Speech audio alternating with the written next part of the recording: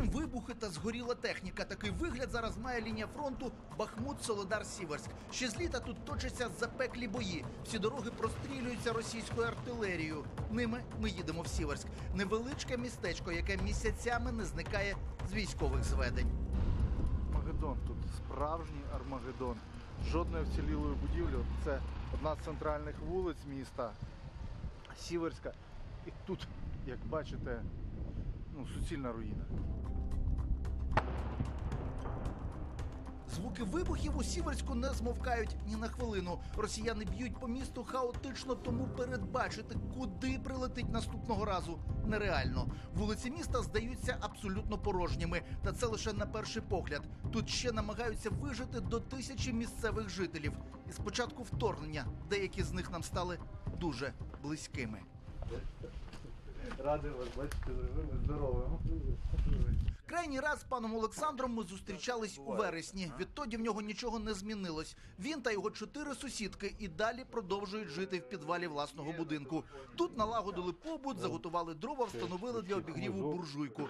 Жити можна, каже чоловік. Єдине, що води не вистачає, доводиться збирати дощову. Ось вода дощова була. Ось дивися, скільки було дощової, розходували баби.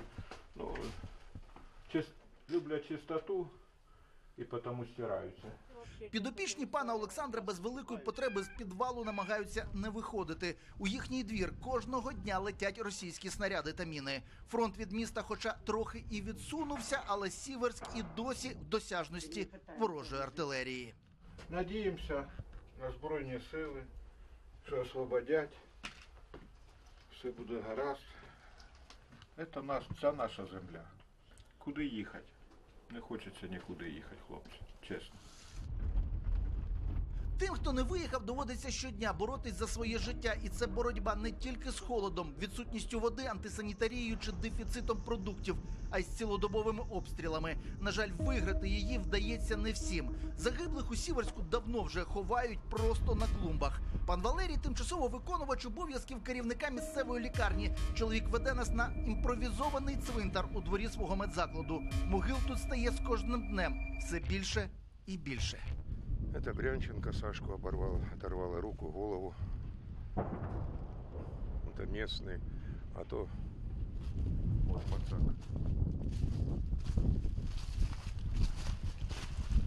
Это Мацак, терапевт. Это вчера похоронили. Пока здесь. Потом будем перезахоранивать.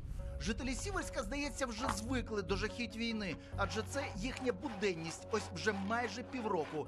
Хвилини тиші вони поспішають заготувати дрова, сходити за продуктами, отримати волонтерську допомогу чи набрати десь технічної води. А потім, потім знов сховатися у своєму темному і сирому підвалі, аби вижити. Ну ми віримо,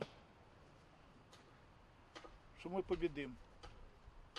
Так, Україна переможе. Да. Віримо. Чого й не в'їжджаємо. З Донеччини Станіслав Кухарчук, Василь Дендін, Володимир Гуменюк. Подробиці телеканал Інтер. Марафон. Єдині новини.